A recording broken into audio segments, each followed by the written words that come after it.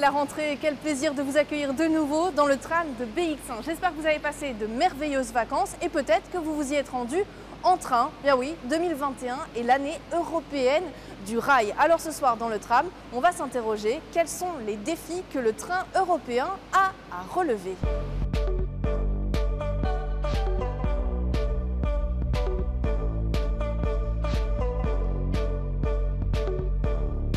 Tommaso Spanevelo, vous êtes responsable des affaires publiques à l'Union des industries ferroviaires européennes et je vous ai invité pour parler justement du rail européen. L'un des objectifs du Green Deal, c'est de doubler le trafic des voyageurs à grande vitesse, sur les trains à grande vitesse d'ici 2030. Comment est-ce qu'on arrive à répondre à cet objectif? 2030, c'est demain. Alors tout d'abord, cet objectif est très ambitieux mais nécessaire. Euh, si on veut vraiment euh, atteindre la neutralité climatique d'ici 2050, il faut impérativement euh, décarboniser notre système de mobilité. Le secteur des transports représente environ aujourd'hui 25% des émissions de gaz à effet de serre. C'est très important. Oui, en Europe, avec une exception notable, le secteur ferroviaire.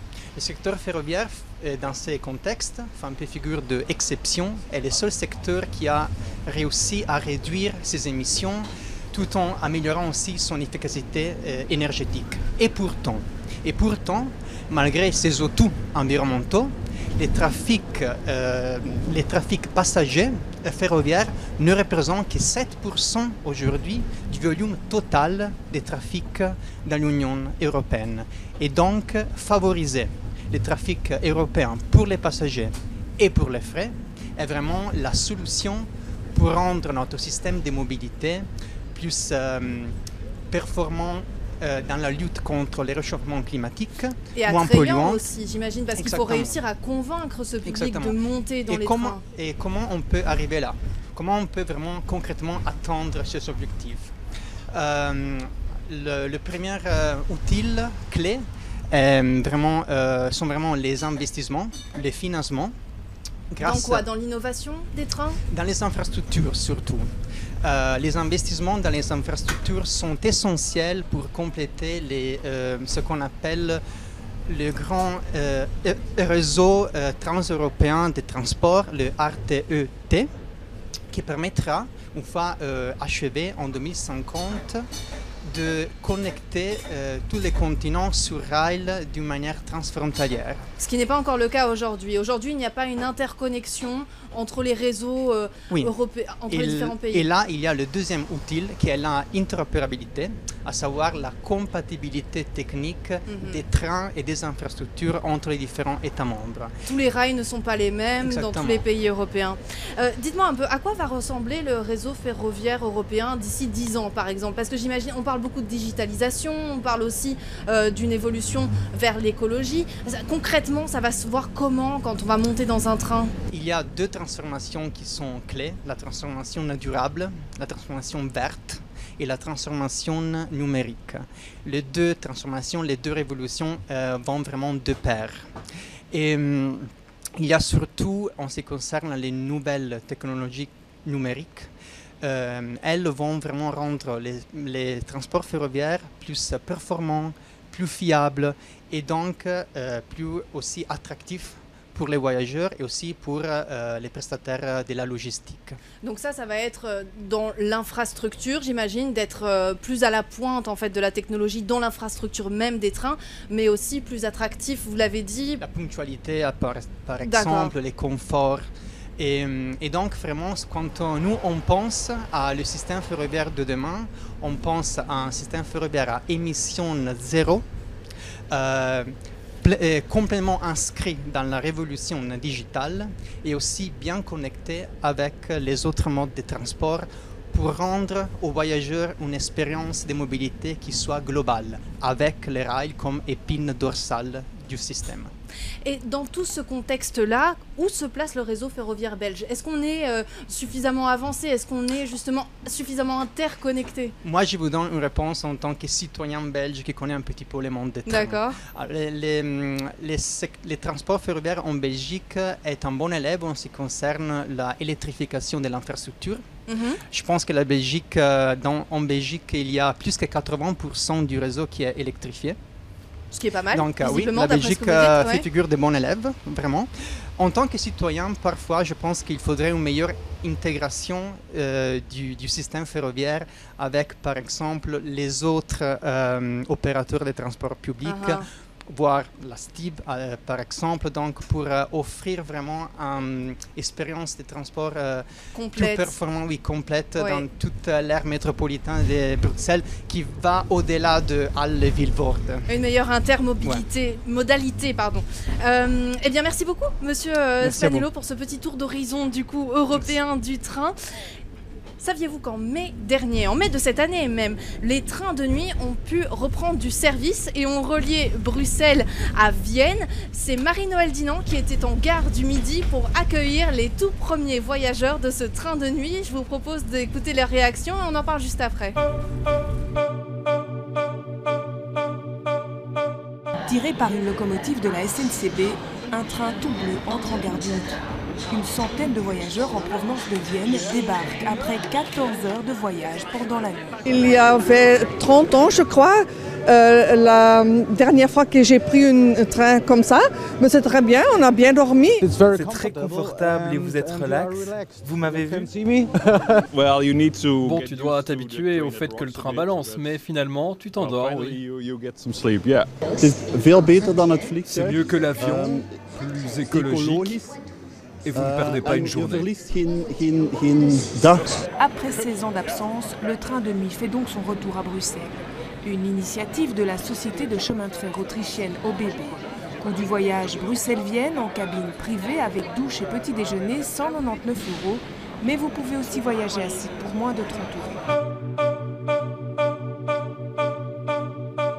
Alexander Gaume, bienvenue dans le tram. Vous êtes porte-parole de Back on Track, qui est euh, une association qui lutte pour le retour massif des trains de nuit. Et massif, visiblement, c'est important. Euh, comment est-ce qu'on explique la disparition des trains de nuit? Il me semble que le dernier était, euh, est parti de, de Bruxelles euh, en 2003. Et puis on a eu ce train de nuit Vienne-Bruxelles dont on a parlé juste avant. Oui, c'est à peu près ça. En fait, nous sommes très contents avec ce, ce premier train qui, qui est retourné déjà. Mais euh, ce qu'on veut, en fait, c'est le retour massif des trains de nuit. Donc, on veut que Bruxelles soit le point de départ de trains de nuit pour un peu euh, toute l'Europe, en fait. Donc, Mais pourquoi euh, est-ce que ça s'est arrêté? Ben, euh, ça a été une convergence de plusieurs facteurs. Donc, euh, autour de l'an 2000, il y a eu plusieurs euh, changements. Donc, d'abord, il y a eu euh, l'émergence des vols low cost, donc les gens Ryanair et autres, euh, qui offraient des billets à 20 euros euh, pour Beaucoup Barcelone. plus concurrentiel. Oui, en, eff- en effet, concurrentiel, mais c'était justement parce qu'ils sont subventionnés. Donc en fait, euh, le marché est truqué. Euh, en dehors de ça, il y avait aussi euh, l'investissement dans le TGV Mhm. qui arrivait en même temps qu'il fallait en fait rénover les trains de nuit existants ou acheter du nouveau matériel. Et en même temps, il y a eu la libéralisation des trains de nuit, enfin des trains internationaux Mhm. Qui ont en fait complètement changé le cadre économique des trains internationaux Donc et qui les été- a rendus déficitaires du jour au lendemain. Même s'ils roulent à, à plein, euh, Ça a été une conjoncture de, de facteurs en fait euh, et, et l'évolution de nos modes de, de déplacement tout simplement à l'époque qui ont fait que les trains de nuit n'étaient plus euh, vraiment plébiscités en fait. En fait, non, ça c'est pas vrai parce qu'en fait les trains de nuit, ils étaient toujours, enfin beaucoup de trains de nuit étaient quand même toujours pleins jusqu'au dernier moment. Mhm. Donc euh, encore maintenant avec le Covid, on a vu la disparition du dernier train de nuit entre Paris et euh, l'Italie. Donc euh, le Tello, en fait c'était un train de nuit privé. C'est un train de nuit qui circulait bien rempli euh, tout au long de l'année euh, avec au moins 8 voitures, mais souvent avec 10, 12, 14 voitures parfois, qui étaient bien remplies autant que par des, euh, touristes que par des professionnels. Et Mais malgré ça, ce Alors- train de nuit, Oui. il faisait quand même une perte. Donc en fait, ça la montre parfaitement comment il est presque impossible de faire des bénéfices avec un train de nuit. Parlons des avantages du, du train de nuit, parce que vous, vous, êtes, vous êtes en faveur de, de ce retour. Euh, quels sont les avantages d'un tel voyage? Parce qu'on l'a entendu, ça peut être long, euh, c'est de nuit. Pourquoi est-ce qu'on pourrait prendre ce train de nuit là plus que Bah, autre mode Parce de que le principal avantage, en fait, comme euh, disait le voyageur tantôt, euh, c'est 14 heures. Mais en fait, ce n'est pas 14 heures utiles. Donc, de ces 14 heures, on, on en passe peut-être euh, 10 euh, en dormant ou qu'on essaye au moins de dormir. Mais donc, en fait, l'avantage des trains de nuit, un des principaux avantages, c'est qu'on monte le train le soir après le dîner. On va dormir et on se lève là où on veut, être. Ouais, ça fait gagner du temps. Est-ce que c'est bon marché? On a parlé tout à l'heure de- des vols euh, low cost. Est-ce que le, le train de nuit est bon marché? Euh, souvent, en fait, il ne l'est pas. Et historiquement, il ne l'était pas toujours non plus parce que euh, c'était surtout un. Enfin, les, les voitures lisses, c'était vraiment la classe moyenne. Les voitures couchettes, il y avait. euh, un peu, enfin, c'était un peu meilleur marché. Mais quand même, ça a toujours été le moyen de transport de la classe moyenne euh, qui était beaucoup plus confortable qu'un un car, par exemple. Euh, et beaucoup, quand même, moins euh, cher que l'avion. Maintenant, avec les euh, vols low cost qu'il y a, ils sont subventionnés et ça truque le marché et les trains ne le sont pas. Et vous vous demandez justement aux députés européens eh bien d'assurer en fait euh, un tarif euh, ou en tout cas un, un plafond de, budgétaire pour, les, pour ces billets de, train notamment. Oui, bah, on, demande surtout qu'il soit abordable quand même, que ce soit un prix raisonnable et que les avions soient taxés au même niveau que les trains parce que ce n'est pas honnête. Euh, le train, il est au- aussi beaucoup mieux pour l'environnement. Il dessert aussi les, enfin, des régions euh, qui sont moins désenclavées. Donc, il peut aussi servir, par exemple, maintenant, Namur, Luxembourg, ils n'ont presque pas de train international.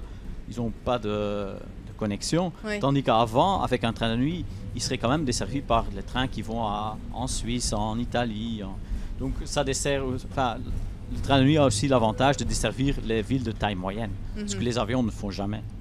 Eh bien, merci beaucoup pour, euh, pour ces explications, du coup, euh, ces, arguments en faveur euh, du, train de nuit. Effectivement, hein, Bruxelles pourrait devenir un hub, comme on dit, un centre pour accueillir ces, trains de nuit. Bah oui, c'est stratégiquement situé en Europe, entre Londres, Berlin, Amsterdam. Pourquoi pas faire ce réseau ferroviaire européen, comme on a pu en parler en première partie d'émission. C'est la fin de cette émission du tram. C'était un plaisir de vous retrouver ici dans ce tram de BX1. Vous le savez bien, je vous dis la semaine prochaine, même heure, même tram.